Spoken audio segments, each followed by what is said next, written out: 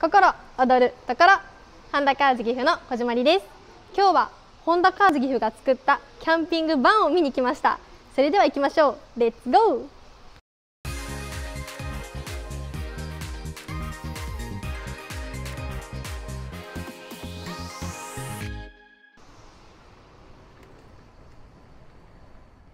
それではこちらがキャンピングバンです。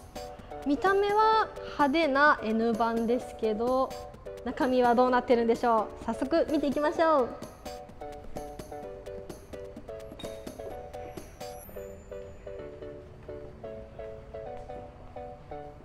う。わすごい。ベッドがあります。車の中にベッドがあります。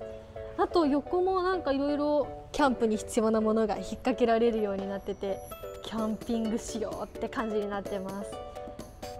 すごい。じゃあちょっとベッド寝てみていいですか？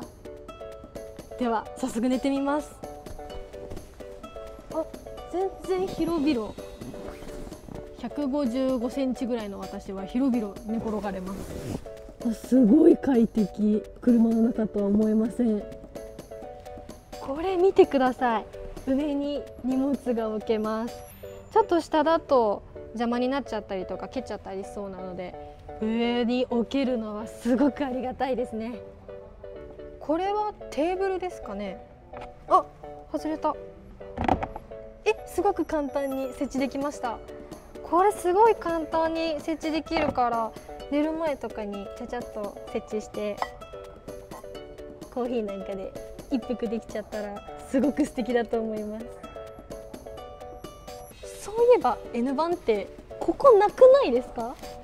これないからすごく広々しててすごく快適です。私すごいもの見つけちゃいました。こちらウィンドウメッシュこれがあれば虫が入ってこないです。私虫大嫌いなんですよ。これのおかげで風は来て虫は来ない。快適な車中泊ができると思いませんか？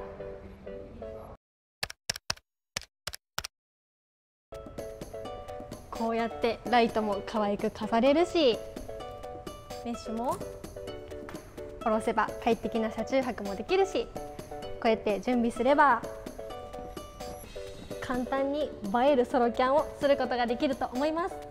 本当にいい車です。キャンピング N 版いかがだったでしょうか？気になる方はホンダカーズ岐阜へぜひ来てみてください。以上心踊る Vlog 小島里がお届けしました。いいねとチャンネル登録もお願いします。ありがとうございました。